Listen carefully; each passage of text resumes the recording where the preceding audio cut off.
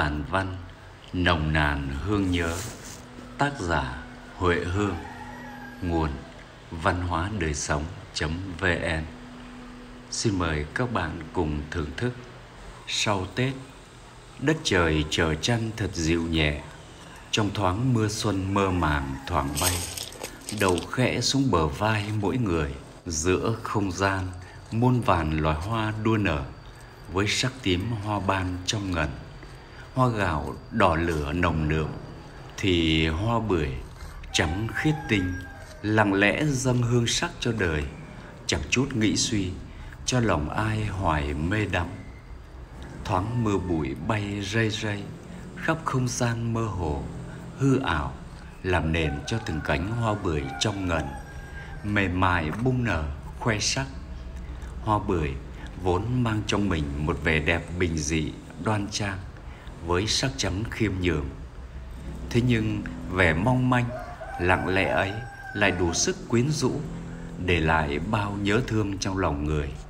Nhắc nhở trái tim, từng đứa con ra đi từ làng quê, để nơi phố thị giờ đây, nỗi ngóng trông dâng lên mỗi độ tháng ba bước sang. Hoa bưởi dẫn lối tôi về với khu vườn nhỏ xinh thân thương của mẹ ở chốn quê nhà. Đứng dưới những vòm hoa trắng ngần, tựa áng mây bồng bềnh trôi nghiêng, tựa lớp sương huyền hoặc bao bọc bên mình, tựa đang trong một giấc mơ cổ tích, như muốn nắm níu mãi chẳng rời.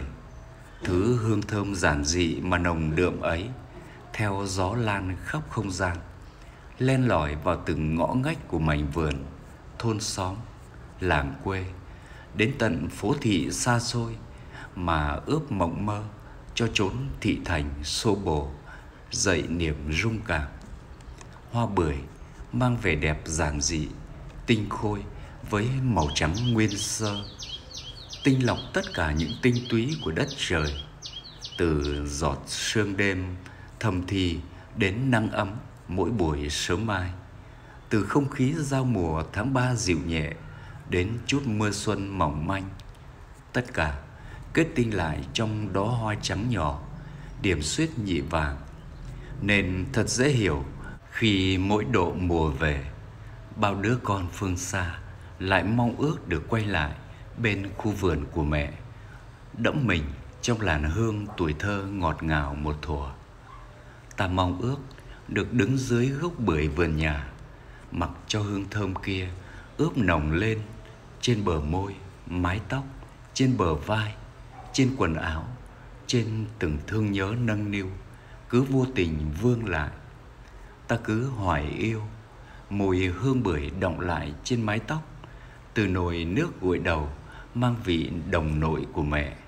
Có lá xà, lá hương nhu lá bưởi và tất nhiên không thể thiếu hoa bưởi mái tóc được chăm chút thêm mượt mà, ngát thơm từ thuở nhỏ cho đến tận những ngày con đi xa nhà.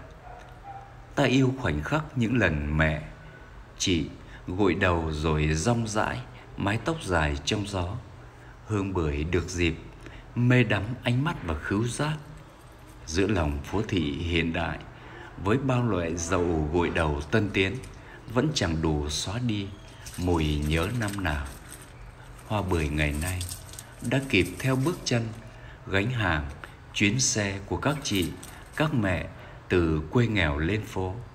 Điểm tô nét dịu dàng, hương sắc đồng nội cho thành phố thời khắc đất trời giao mùa.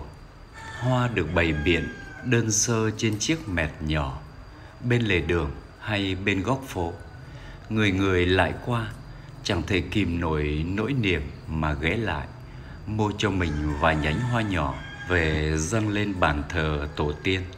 Hay chỉ đơn giản đặt trong phòng khách cho hương quê, dậy lan thoang thoảng. Mùa hoa bưởi bình dị, tô sắc tô hương cho thành phố, trải dài theo từng bước chân người, tựa dòng sông hoa trắng huyền thoại trong những cuốn phim. Thành phố tháng ba bỗng hóa thân bình yên quá đỗi xô tan bao bộn bề, lo âu cuộc sống. Chỉ còn giữ lại nơi này, mảnh tháng ba thanh nhàn, cùng loài hoa trắng mềm.